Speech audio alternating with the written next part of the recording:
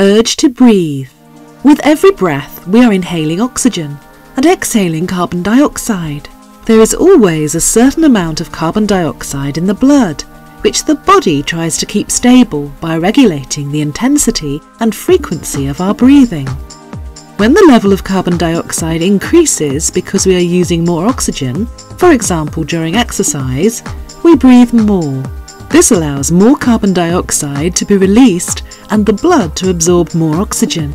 But when we hold our breath, gas exchange grinds to a halt, and the body cannot release the carbon dioxide in our blood. The oxygen levels in our blood starts falling and carbon dioxide levels start to rise above their normal level. This rise in carbon dioxide is detected by receptors in our brain, which in turn triggers our urge to breathe. One of the first places to feel those signals is the diaphragm, which starts to contract involuntarily in an attempt to inflate the lungs. When you get contractions, there is still oxygen available to use, and you can keep holding your breath for some time. With training, you can increase your body's tolerance to carbon dioxide which will result in longer, safer breath hold times.